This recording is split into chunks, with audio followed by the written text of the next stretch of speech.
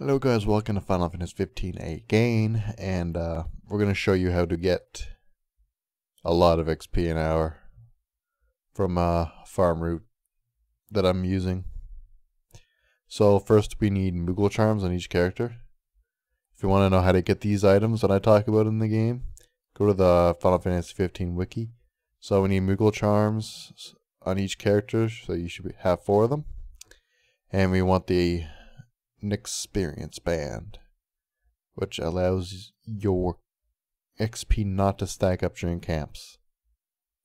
So you can actually get some uh, food boosts while not worrying about stacked XP. And uh, that's the first part. You just want those items for your characters at least. You need to be in the game because you're fighting the turtle. Now there's a camp near the turtle here.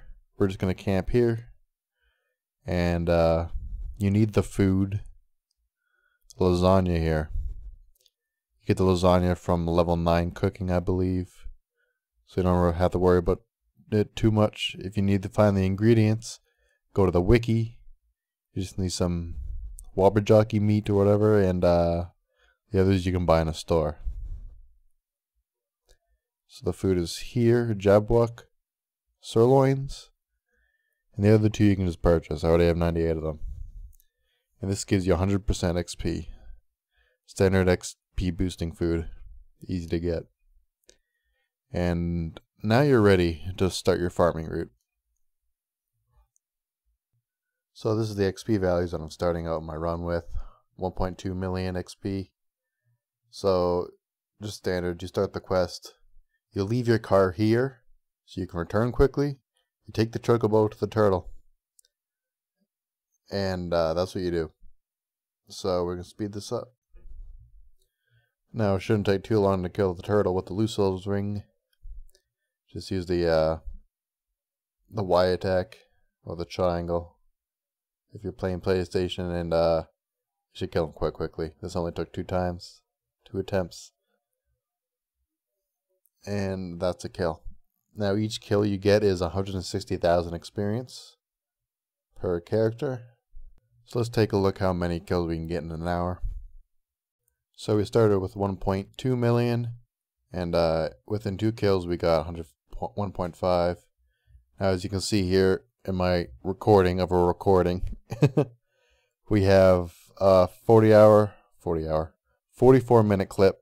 We killed the turtle seven times within 44 minutes. And I know you can get one, if not two kills within 15 minutes, so that would make it 9 kills per hour. So 159,000 times 9 is uh, 1.431 million XP.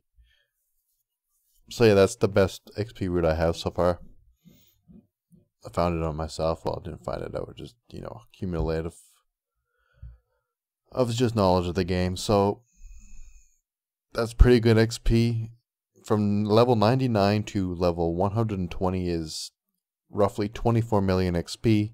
You can get 3 times XP from the highest hotel. That means you need 8 million XP farm, and 8 million divided by 1.4 million is uh, roughly 5.7 hours of farming in order to get from 99 to 120 with this strategy. So you can do it in an afternoon if you really wanted to. So yeah, I hmm, level 120 isn't much base stats compared to 99. It's not much of a big deal. You don't really have to hit 120, but if you want to be that completionist, this is probably the best way to do it at this moment. Time quests are usually locked into one for once in a while now, since they kind of nerf the time quests. Although they still have a lot of APS of just doing them every time they pop up. You want to farm AP much faster without having to do the killing animal method. So yeah, this is the best farming method we have so far in the latest patch. You want to hit 120, go ahead. Oh, as you can see here, every time I point warp, point warp, I get my MP back full. I don't know what's causing that.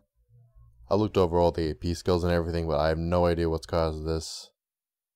Full MP, I have no idea. I looked over all the gear and all the abilities, and I don't see any definition that does that, so... If any of you guys know what does that, write in the comments because I have no idea. It's confusing me. It just started one day, so. Yeah, that's it for this video. Enjoy having 120 if you bother want to bother to get it. And have a nice day.